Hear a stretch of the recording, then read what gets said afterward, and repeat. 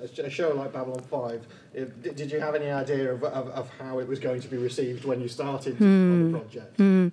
When I read the pilot for it, I knew that it was very different and really wonderful, and I knew that I was not going to get it because I am not a big enough name. And then when I got it, you know, I just thought we were all incredibly lucky to be on that show.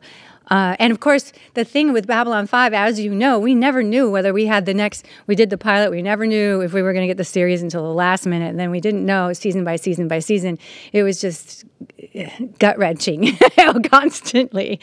Um, it was kind of one of those because you're just like we were talking about before. This was at the beginning of when being a nerd was starting to the all of this was starting to blossom a little bit, and and it was still not cool. For instance, as an actor, uh, it didn't matter, and and we saw this happening on the Star Trek shows. It didn't matter that it was a, a huge success and the performances were great, the storylines were great. You wouldn't be considered for a mainline um, role or even an award or any of that because science fiction, right? So we knew we were the bastard stepchild of Warner Brothers.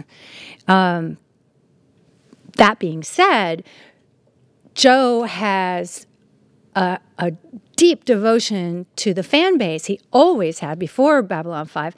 So he made sure that we went on the road um, individually and collectively to conventions to speak to fans. And so we knew because the love was coming back you know, we knew we were doing something right. And of course, we read the scripts and we knew how good they were. Um, it, you know, it, it's still, as far as I'm concerned, it has still never been honored by Warner Brothers. They've really never gotten what they have with Babylon 5. And when we were first releasing the VHSs, you go back to the VHS tapes, and they wanted to start releasing the tapes, Warner Brothers would go, said, why? Who would buy them?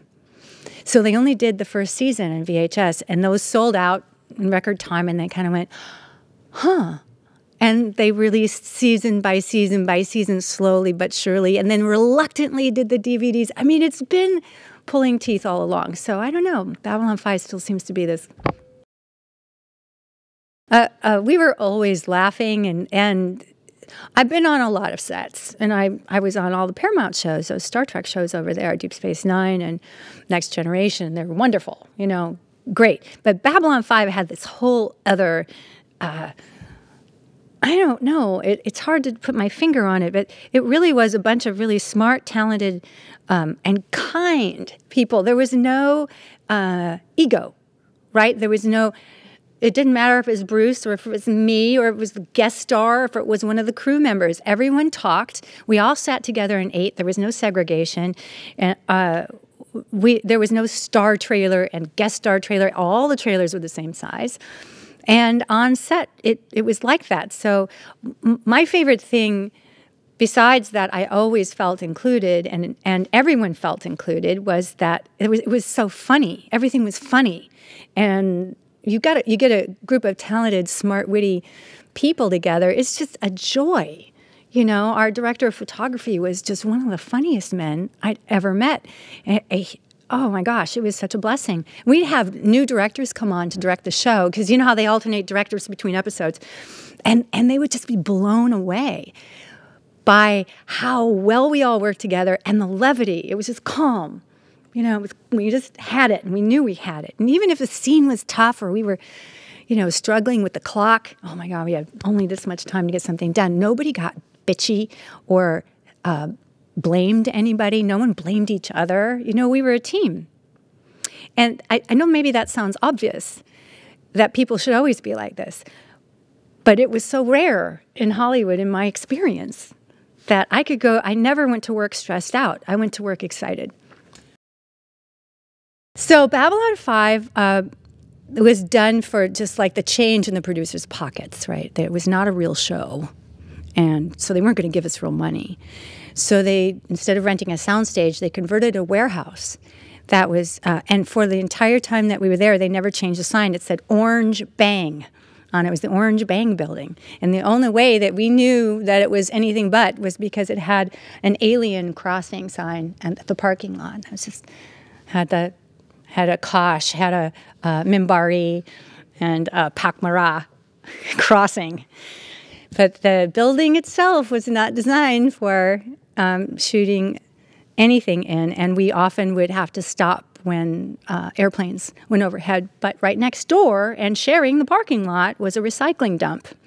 That uh, one time, Bill Mumy, um, one of our producers, and maybe it was Mira's car as well. Their cars were uh, parked in the very back of the parking lot, and the recycling dump did something with a bunch of spray paint, and it went all over their cars. So they had the recycling dump had to pay for the repainting of of a of, of I think Bruce's um, Bruce's Jaguar, and oh my god, it was bad. Anyway, it smelled like a recycling dump, and that's where our we would eat because the tents were set up in the parking lot. I lost a lot of weight on Babylon 5. uh, but we had tents that were in rain or shine, that's where we ate, everybody all together. The, the truth of it is, Joe had gone to Paramount with the Bible for Babylon 5 pitched it to the Star Trek producers, left it with them for a year. They finally return it back to him saying, No, we're not going to do it. So he finds his own way to get Babylon 5 made. Meanwhile, they make Deep, Deep Space Nine. So there was a lawsuit, and they settled out of court. So, yeah, of course, they did. They ripped off the script and the idea. Um, they had a character named Lita. They they didn't even change it. I mean, there's just you know, there's some things they were just the arrogance is kind of just. Are you kidding me? But it worked out. They settled it, uh, and they really did seem to be the end of it. They, no, they, nobody cared after that.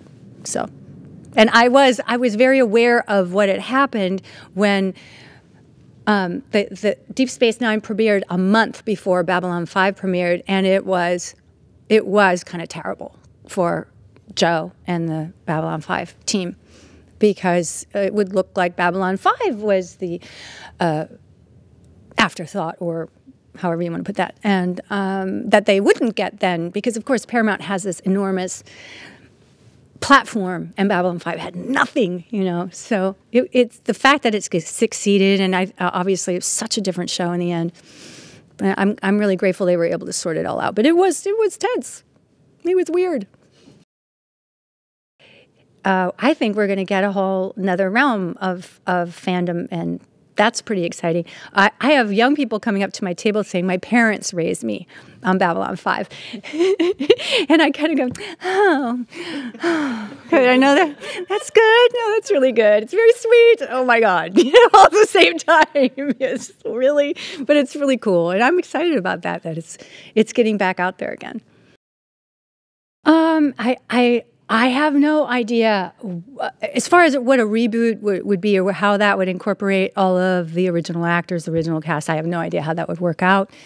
Um, of course, it's always fun to be a part of something that's creative and interesting. And if Joe were involved in it, of course, then it would be creative and interesting. Um, sure, I think. So, in a way, Babylon 5 sort of predicted everything that's happening right now. so maybe there isn't a need to remake it or reboot it. Um, so that's on one hand. Of course, the fans would love to see more of that world. And who can blame them? When, when we love something, we want to see more of it. Uh, but it, it would have to be with Joe in charge, as far as I'm concerned.